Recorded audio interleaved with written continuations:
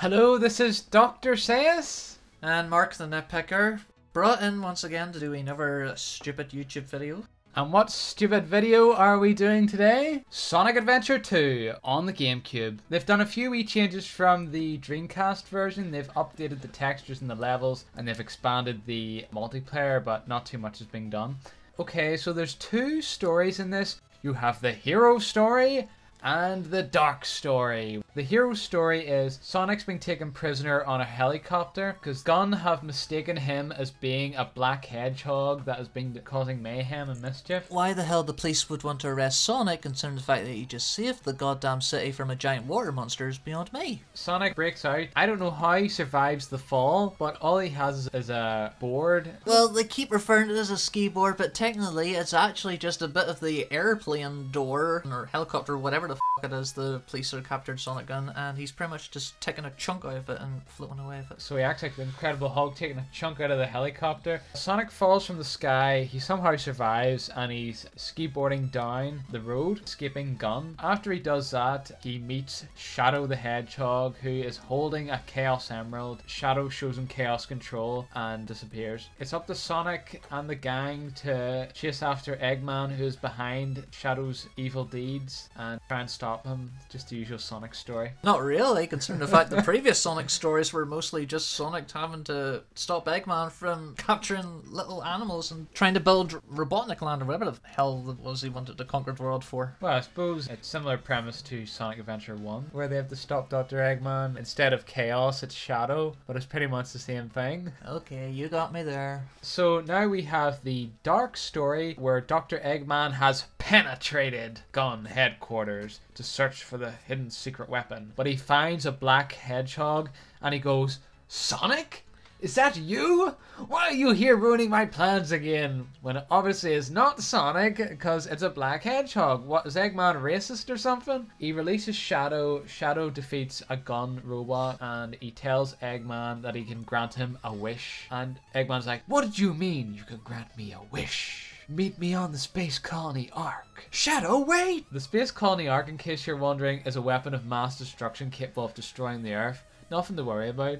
Each story has three main modes. There is the 3D platforming of Sonic and Shadow, you have the treasure hunting with Rouge and Knuckles, and then you have the shooting with Tails and Robotnik. Now, we will start with the running levels. Well, these are actually my favourite levels of the entire game. And as, mine. As a matter of fact, I'll, I'll probably end up saying that they're probably my only favourite part of the entire game. If you love the treasure hunting and the shooting levels, that's fine.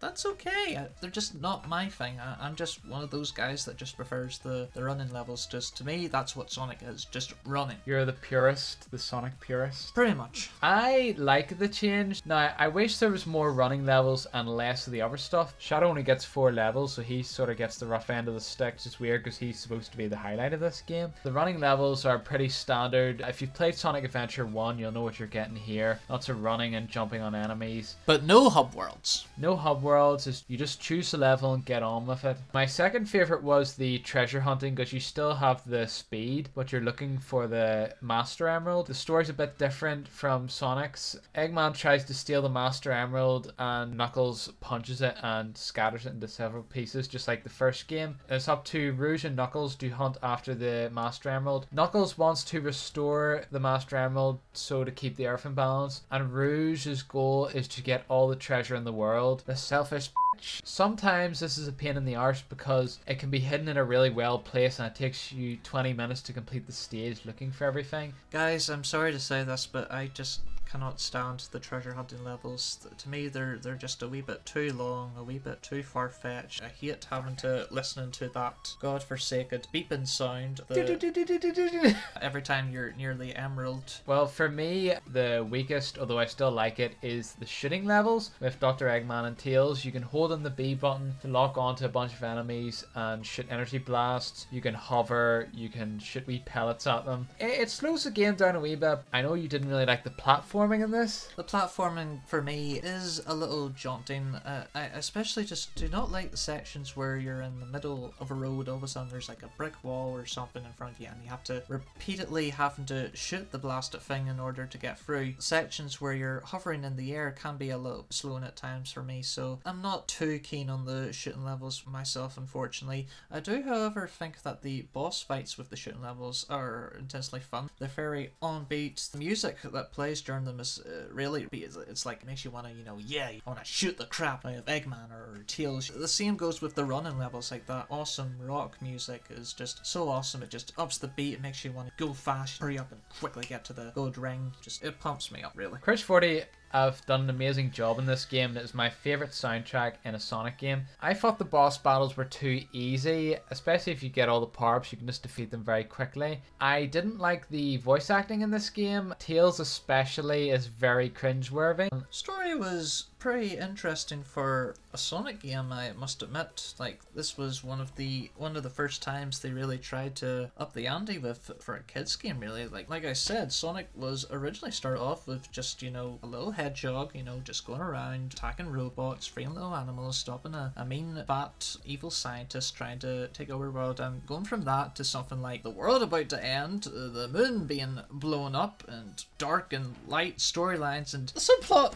of Shadow's back backstory is very dark for, I suppose, a kid's game at this age. I mean, let's be honest, like, Maria is probably one of the few child characters to, to die Sonic game. Let's be honest, it's not, it's not shown in context, obviously. It's not physically stated that she is, you know, dead. Clearly go out and say, oh, she's dead, you know, but for kids game that, especially Sonic game, that really is kind of dark and all, and the grip Dark Knight feel of Shadow, you know, wanting revenge and all of humanity for, for her death and all. It's, it's really up the ante for Sonic game. I actually thought Maria was an adult, and I didn't find out until Shadow the Hedgehog game that she was a child. Two player is really fun experience for this game. It's fun to race against your opponent in the racing sections. It's fun to shoot your opponent in the shooting sections, and for you treasure hunting lovers out there, it can be fun to find the treasure first before your opponents. Each character has their own special powers, like they collect a certain amount of rings. It usually involves involves the racing speed up, attack, and stop time. Amy is completely broken of this. All she has to do is collect rings, and she goes, Yeah, just wait a minute. Just wait a minute. Just wait a minute. Which gets very grinding, as I'm sure Mark knows, because I always use Amy on him.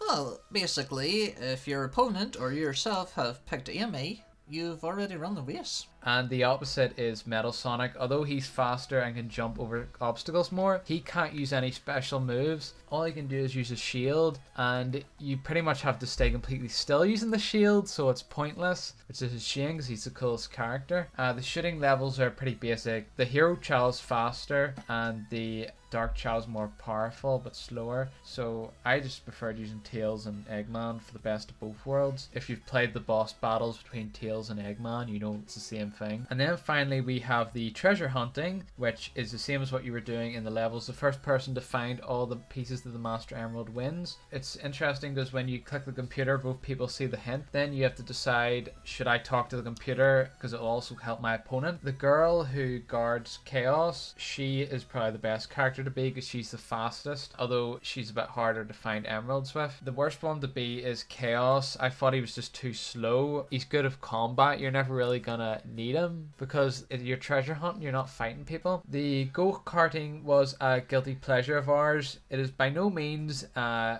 holds up the Mario Kart, but it was a nice little distraction.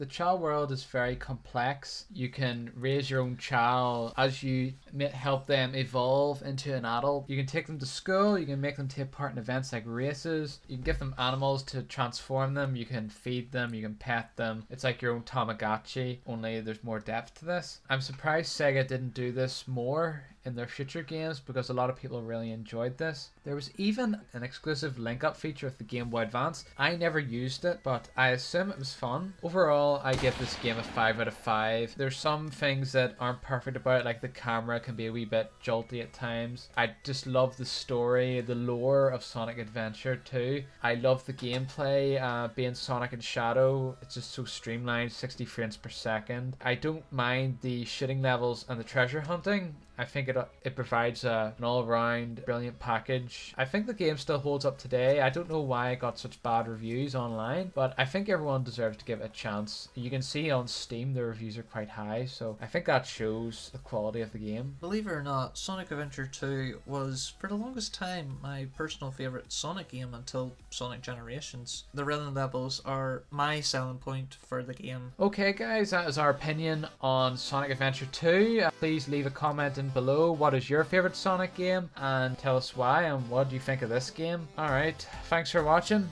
Thank you very much.